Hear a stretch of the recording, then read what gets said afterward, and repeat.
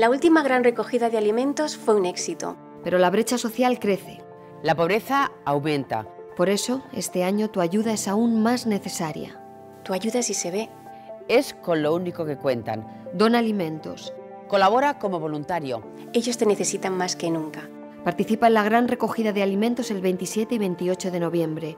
Y recuerda, el hambre sigue ahí.